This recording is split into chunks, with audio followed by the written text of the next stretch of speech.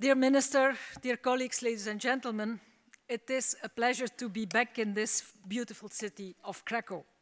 It was here in Krakow at the European Labour Mobility Congress in April last year that I had the honor to set out my vision for a deeper and fairer internal market for the first time. A vision for more labour mobility and more posting of workers based on clear, fair and enforceable rules. Since then, a lot has happened. The Commission has tabled a proposal for a targeted amendment on the Posting of Workers Directive. The proposal is now under discussion in the European Parliament and at the Council. The Enforcement Directive and the directive facilitating the exercise of the rights of mobile workers have entered into force. The platform against undeclared work has started its activities. We have launched a single market strategy a skills agenda for Europe, and a broad consultation on a European pillar of social rights. And we have published a report on the results so far of the Youth Guarantee, our, strate our strategy in cooperation with the Member States to get more young people into a job or training. All those initiatives have a common goal, and that is to ensure that economic development and social progress in Europe go hand in hand.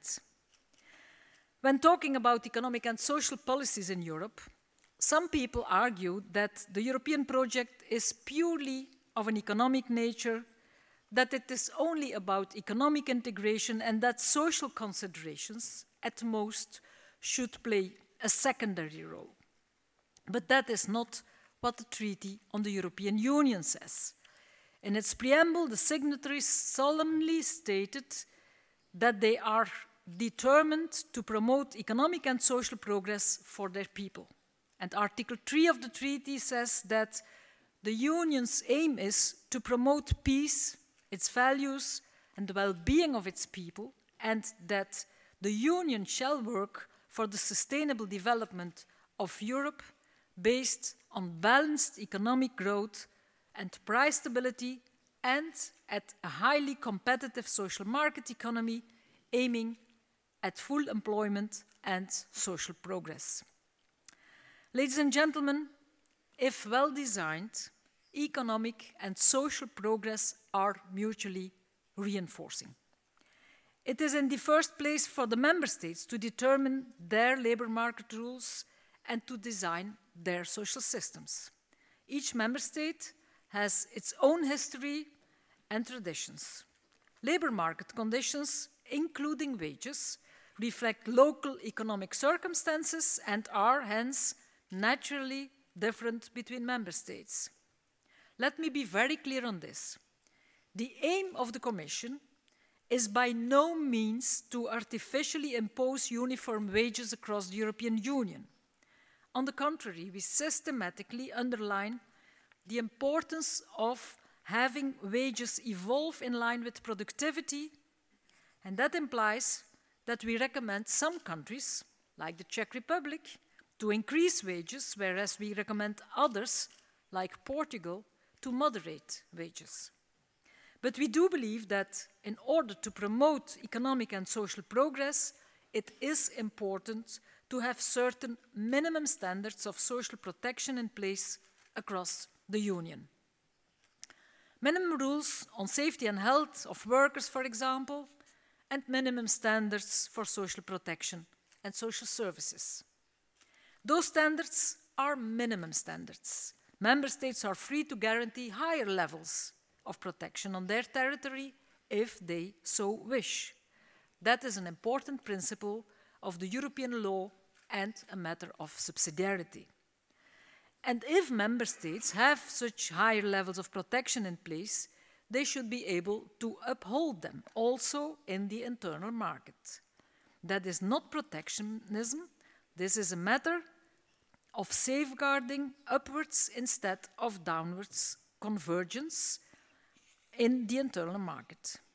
And that brings me to my proposal from the 8th of March for a targeted revision of, the of the Posting of Workers Directive. The central element in my proposal is that I want the same binding rules on remuneration for local and for posted workers, and the same binding rules on remuneration for local and cross-border service providers. This is fair for workers and for businesses. But what does it mean concretely? Well, first, it does not necessarily mean the same pay for everyone. If an individual worker manages to negotiate better conditions than what his employer is legally bound to pay, good for him, for her. And if an employer wants to reward an individual worker with a salary raise when he is legally not obliged to do so, excellent. Secondly, the yardstick is clear. It is not average pay or the pay of a hypothetical worker. It is what that particular worker, as a minimum, is entitled to under the binding rules of the host country. And thirdly, this will not make things more complicated or uncertain for posting businesses compared to the situation today. I notice that there is a lot of misunderstanding about the current system, which is sometimes misrepresented as if today only statutory minimum wages would apply. Under the current rules, employers also need to verify the details of collective labor agreements in the host country. They also need to classify their individual workers in the pay grids contained in those collective labor agreements. And the court, our European Court of Justice, has clearly confirmed this last year in a case launched by a Finnish trade union. The difference that my proposal will make is twofold. There will be no more uncertainty on which elements of remuneration in the host country are to be taken into account. All elements of remuneration that are binding for local workers and local service providers will have to be included. And the host member state will be obliged to publicize on a single website what are the constituent elements of remuneration. The court has clarified that employers are only bound by rules which are sufficiently transparent, so if a host member state fails to publicize the information, a posting firm will not be bound by it. My proposal will hence bring more legal certainty and more transparency, building on the case law of the European Court of Justice. Frankly, I do not see how this could be against the interest of posting firms. Let's take a look then at the economic impact of the proposal. Ladies and gentlemen, I do not underestimate or disregard the possible effects the proposal can have. But let's analyze the situation rationally based on facts and figures. The number of posted workers across the European Union has increased almost threefold since 2007. In 2014, we were close to 2 million posted workers. Preliminary data for 2015 indicate a further increase, a steep upward trend, and that is excellent news. It shows also that our service markets are getting more integrated. Poland posts more workers than any other member state, more than 400,000 workers per year. The improvement in their working conditions, which my proposal will bring, will directly benefit those workers and their families. I don't see why this would not be in Poland's interest. Poland's workers are first class workers. They are competent and they are motivated.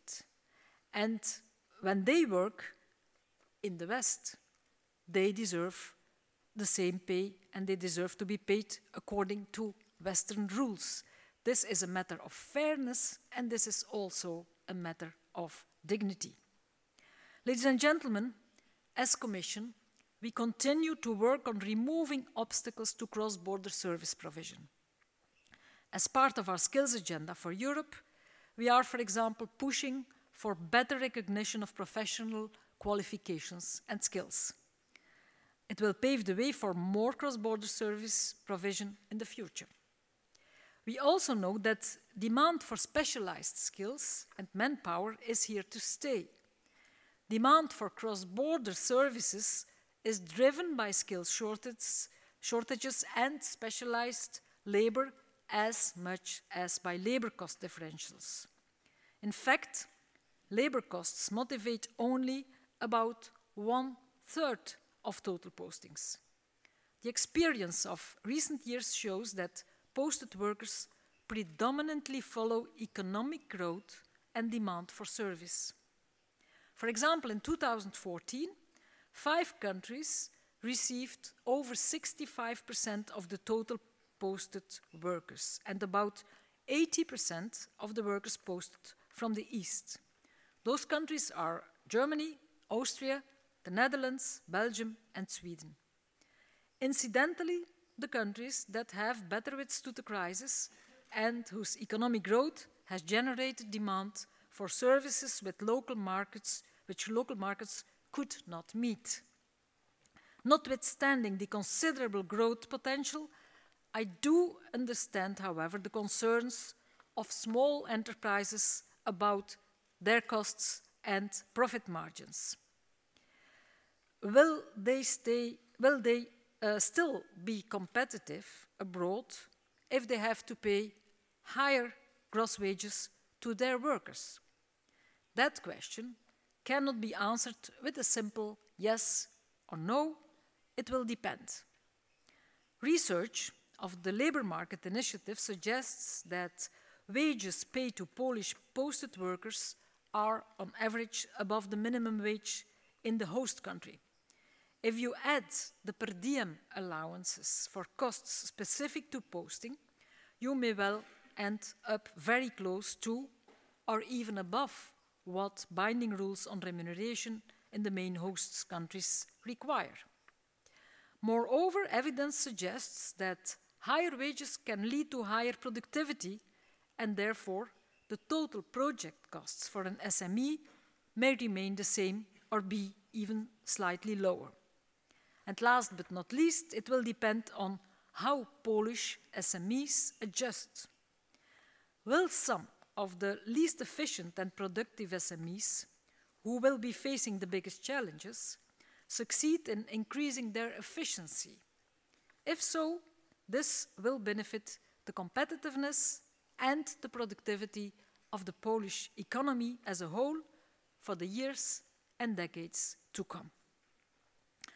Personally, I would tend to think that a model of competition in Europe based purely on low labor costs is not in the interest of Polish SMEs.